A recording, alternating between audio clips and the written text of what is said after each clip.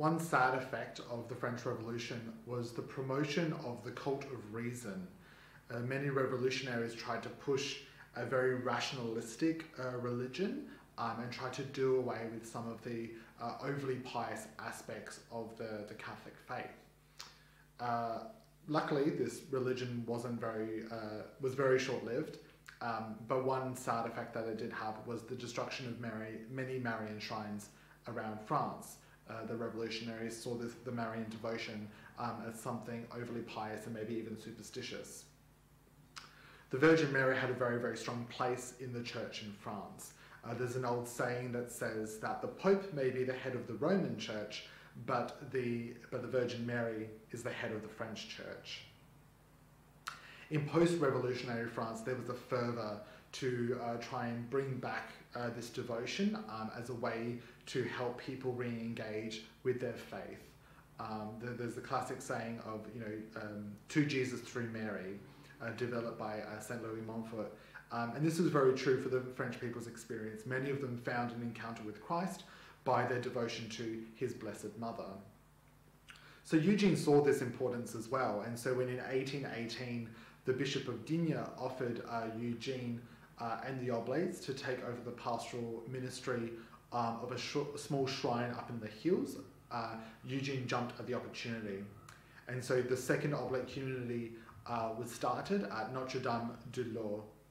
And because of this new establishment, it then meant that Eugene had to write the constitutions and rules um, so that both communities could live the same missionary charism. And this started Eugene's vision for a religious order. The advantage to having communities based at Marian shrines uh, and not at parish churches uh, meant that not only could the missionaries be at the shrine ministering to the people that came there, but they could also base themselves from the shrine and go out to neighboring uh, the neighboring countryside, neighboring towns to preach and to restore the faith uh, in those places.